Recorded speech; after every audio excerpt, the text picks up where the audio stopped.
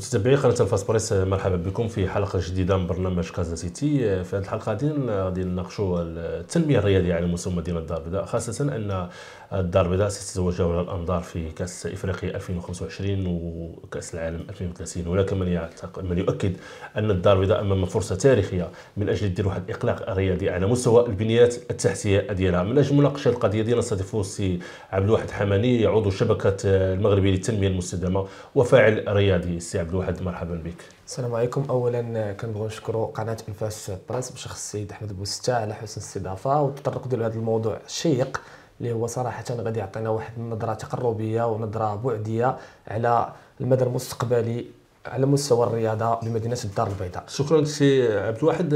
هناك من يقول بأن الدار البيضاء أمام فرصة تاريخية. علاش؟ لأن كاين كأس إفريقيا وكاين كأس العالم اللي غيتنظم في 2030 وهذه الفرصة الذهبية ما خصناش نضيعوها. لأن هذه هي الفرصة باش نديروا واحد الاقلاع رياضي على مستوى البنيات التحتية الرياضية في مدينة الدار البيضاء. صحيح هو كيف ما تكلمتي وسبق تكلمتي على الموضوع ديال الإقلاع ديال مدينة الدار البيضاء الحمد لله استبشرنا خيرا بأن المغرب حدا بالملف ديال تنظيم كأس أفريقيا 2025 وكانت واحد الفرحة كبيرة بالتنظيم أيضا بالفوز ديالنا. وهذا الشيء ما جاء إلا اكد على العمل الكبير اللي كيقوم به سيدنا الله ينصرو عاود بالدعم ديالو للرياضة وأيضا السي فوجا القجع اللي هو رئيس الجامعة الملكيه لكره كره القدم أيضا حتى هو اللي على مشاريع على, على راس التنظيم وعلى راس اللجنة اللي غتشرف على على التنظيم ديال هذا المونديال 2030 في المغرب خصوصا الدار البيضاء اللي كتعرف تواجد كبير الفريقين اللي هما مثلا فريق الرجاء والوداد اللي كيمثلوا المغرب على مستوى البطولات القارية اللي كيعطيو أيضا واحد المنتوج كروي كبير للمغرب على مستوى اللاعبين وعلى مستوى طريقة الاشتغال ديالهم اللي واحد الطريقة احترافية على مستوى مدينة الدار البيضاء. صح أن مدينة الدار البيضاء كتوفر العديد من المرافق اللي هي محتاجة للتاهيل الاحتضان هذا اولا coupe d'Afrique 2025 ولا أيضا 2030 coupe coupe du monde 2030 ولكن كيفاش تشوف انت الإقلاع الرياضي اللي خصو يكون على مستوى الدار البيضاء واش نهتموا بهذيك المرافق أو الملاعب الكبرى؟ يعني ملعب محمد خامس هو غيتسم التأهيل ديالو. خمس ملاعب ولا ست ملاعب أخرى. اللي كاين ملعب مولاي رشيد ملعب الحي ملعب العربي مبارك ملعب الطاس.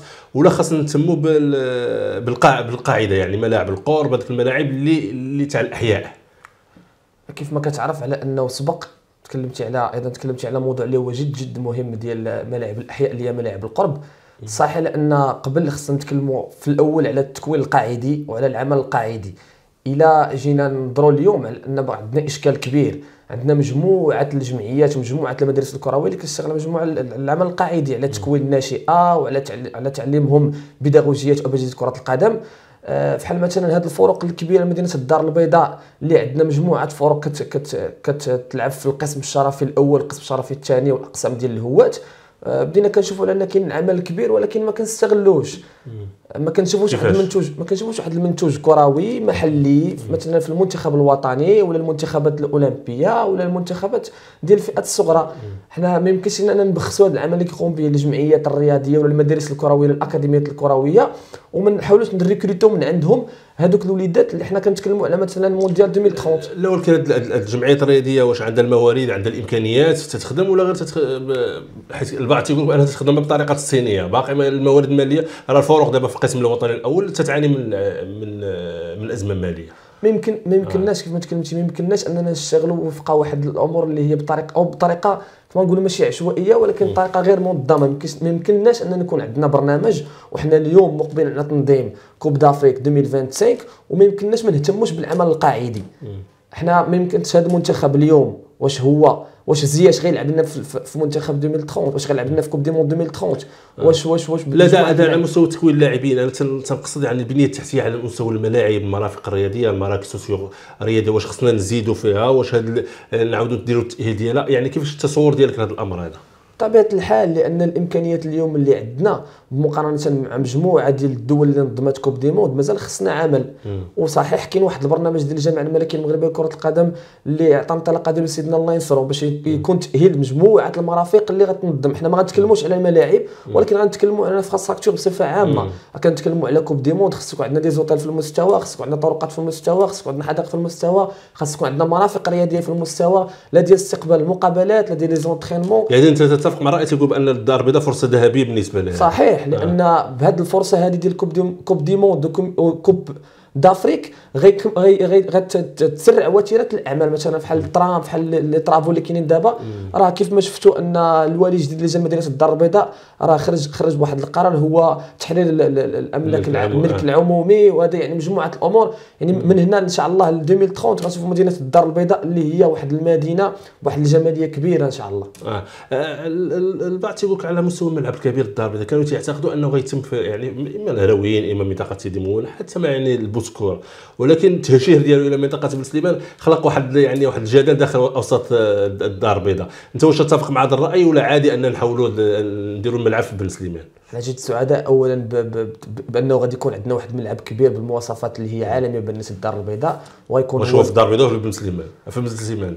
راه هنا كاين إشكال. دابا راه إلا جينا تكلمنا على بن سليمان غنلقى واحد العرق كبير لأن عندنا كيف ما قلت لك فريقين عندهم واحد الكم هائل من الجمهور ديالهم والمشجعين ديالهم. يعني غنلقاو إشكال في التنقل ولا عندنا إشكال في التنقل لمدينه بن سليمان.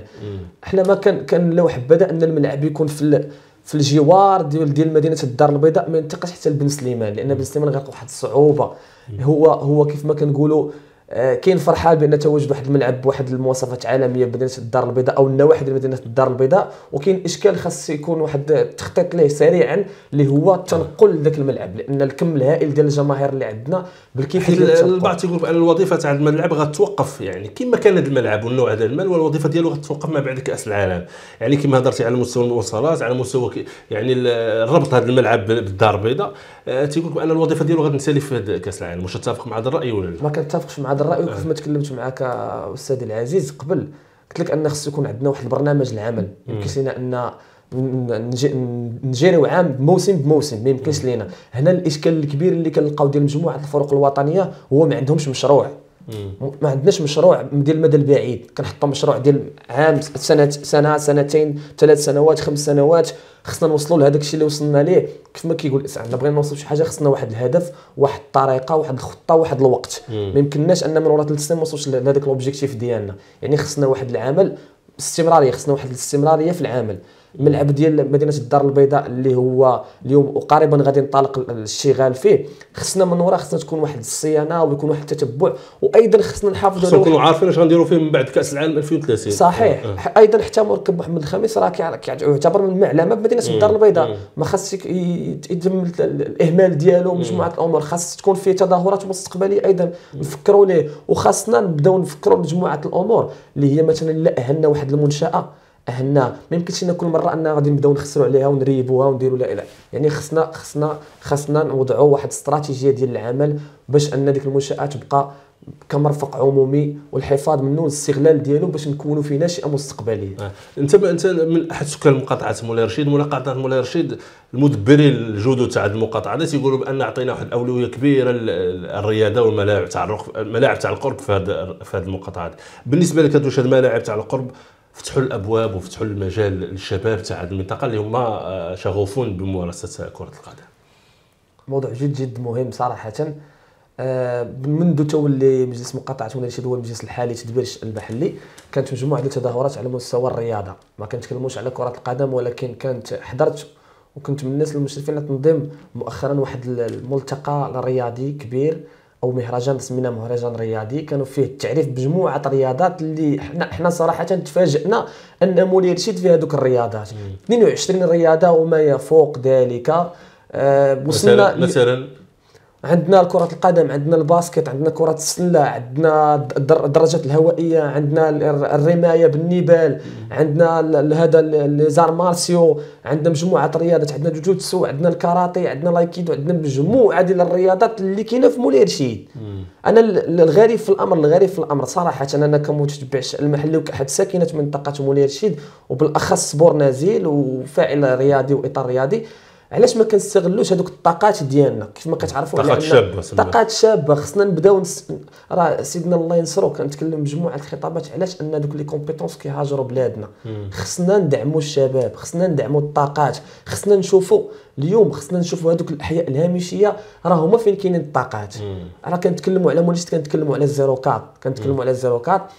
صحيح أن الرياضه الرياضه كيف ما كيقولوا الطاغية هي كرة القدم لأن هي رياضة شعبية. عندنا مجموعة الطاقات عندنا مجموعة خصنا هاد الفرق هادو لا لا لا الوداد لا الرجاء لا الراسينغ البيضاوي لا نجم الشباب لا, لا الاتحاد البيضاوي لا الشباب السالمي لا مجموعة ديال الفرق اللي اللي هما في القسم الشرفي الأول يحاولوا يركريتو من هذوك من هذوك الجمعيات اللي كتشتغل اليوم في منير رشيد اللي وصلنا. غير كرة القدم وصلنا يميز على 1700 ممارس. راه كم هائل من من من الممارسين. وأيضا الجمعيه دابا النجم تاع كره القدم المغربية اناحي راه كان ولد المنطقة سميت ولد لا مريم آه. ولد لا مريم وكان ولعب في مجموعة الجمعيات اللي في اللي في الأحياء. يعني هاد آه. الجمعيات يقدر يكون فيها مواهب أخرى غير خصها اللي يكتشفهم موجودة المواهب آه. كاينة المواهب. وأنا كنقول بصريح العباره هكا إلا كانت الرجاء والوداد عندها مشروع مستقبلي وفرق أخرى خصها تنزل ارض الواقع.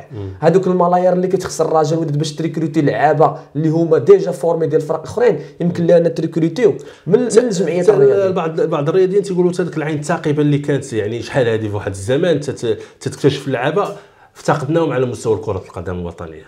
كانوا شي أسماء اللي معروفين لا على صعيد الوداد لا على صعيد الرجاء لا الراك دابا ما بقاوش بحال هذه الأسماء هذه صحيح تكلمنا تكلمنا على المرحوم وعدد من من, من الناس اللي كانوا يشتغلوا الدور ديالهم الأساسي هما أنهم يريكروتي ولكن راه الا جينا قلنا غنتكلموا كيف ما قلت لك على مشروع. الا تكلمنا على مشروع غنتكلموا على ديما يكون عندنا الخلف la relève مشى لنا المرحوم الله يخليه صحته راه باقي في الحياة. نحاولوا نقلبوا على ناس أخرين اللي كتشتغل اللي نكونوها اليوم الحمد لله ولاو des formations. آه مشكور سي القجع اللي وفر مجموعة ديال الدورات التكوينية وعطاهم العصب الجهوية. حتى هي راه فتحت الأبواب ديالها باش أن يتكونوا المجموعة دي حنا راه ولات ما يمكنش نقتصروا على ان أن لاعب كرة القدم السابق يمكن اللي يكون لنا الاجيال راه إلا جينا نشوفوا راه مؤخرا شفنا المدرب ديال سان داونز راه ما عندوش تجربه إلا شفنا مورينيو راه ما عندوش واحد ال carrière كبير كيلعب كرة القدم. ولكن ولات ان ميتي إلا كانوا عندنا ناس des formés في هذا المجال ديال ال recrutement وديال les agents joueurs راه يمكن لهم انهم يديروا الدور ديالهم ويجيبوا لنا الطاقات صغرى وطاقات اللي هي كبيرة نقدروا نشوفوهم مستقبلا في المنتخب الوطني وأيضا في الفرق الكبرى في الفريق الأول مجموعة الفرق الكبرى الوطنية. لا جينا نهضروا على مصطفى السهد. راه مصطفى السهد ولد مولاي رشيد يعني مجموعة ديال اللاعبين اللي اليوم راه خرج على مقاطعه مولاي رشيد كاين واحد الاختلاف في وجهة النظر.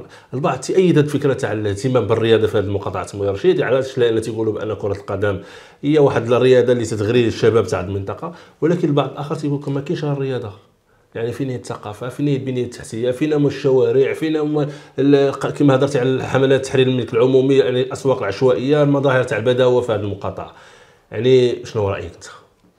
أنا الشأن المحلي وك كشخص ولد المنطقة غنقول لك أن مولاي رشيد كاين عنده مجموعة ديال المشاريع اللي متوقفة. صراحة مجموعة المشاريع مثلا إلا جينا نهضروا على المركز السوسيو ثقافي الرياضي اللي لمشروع كبير دفرت به المقاطعة ديال منير الشيد راه هو راه في في طور التوقف دابا ولا في الإنجاز ببطء شديد. آه، المرافق لا تكلمنا على المرافق مرافق موجودة صراحة. منير الشيد الا تكلمنا على العماله ديال منير الشيد راه راه عندها مجموعة مرافق ومجموعة ملاعب القرب. راه بكم هائل. راه غير منير الشيد راه فيها 22 ملعب ديال القرب. من غير ملاعب القرب من غير على مستوى البنية التحتية الأخرى المرافق الأخرى. على مستوى الطرقات الحمد لله راه راه كان كان المجلس مؤخرا دار واحد العملية ديال التزفيت وتبلد ديال مجموعة ديال التروطوار يعني أنت راضي على المدبرين الجدد تاع المقاطعه ما يمكنليش انني نعطيك واحد ما يمكنليش نعطيك خلاصة ديال التدبير المحلي إلى حين تسالي الولاية ديال هذا المجلس. راه المجلس عنده عامين ونص. ما يمكنش أنا نقول لك هذا المجلس دار ولا ما دارش. ولكن غنتكلم على طريقة التدبير ديالو طريقة التدبير ديالو الآنية هي طريقة صحيحة. أنا ما كندافعش ولكن كنتكلم بصراحة. لكل ذي حق حقه. إلا جيتي تتكلم لا نهضروا على الجانب الرياضي بأنني ملم بالجانب الرياضي. راه تم تنظيم أيضا طريقة الاستفادة من الملاعب ولات واحد des applications ولا ولا واحد العدل في, في, في, في الاستفادة من من ممارسة الرياضة. الجمعيات الرياضية اللي كتشتغل على مستوى التكوين القاعدي راه عندها الأوقات ديالها وكاين تتبع ديال المقاطعة وكاين كاين صراحة المقاطعة راه دارت واحد المبلغ هائل على مستوى البذل الرياضية وهذا إن شاء الله راه راه وعدوا عن قريب ان غادي يتم التوزيع ديال ديال هذه المعدات الرياضية باش تشتغل دوك الجمعيات الرياضية والنوادي الرياضية بواحد الطريقة اللي هي صحيحة والتكوين يكون سليم. أيضا مقاطعه من الشيء الحمد لله كتوفر على سبع أندية.